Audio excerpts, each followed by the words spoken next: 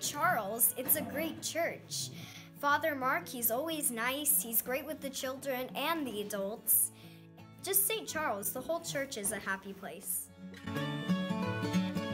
Formation, the catechists are great, and the classes, you learn things with the perfect amount of fun. VBS, it's great. It's a very fun time for kids, so if you're stuck at home in summer and you come over to St. Charles, you're guaranteed to have fun. You're greeted by dancing and singing and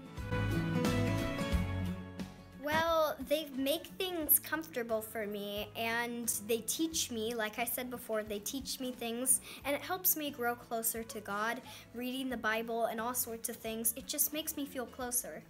I've had really great catechists, but Mr. Ed is very great, but they're all my favorite.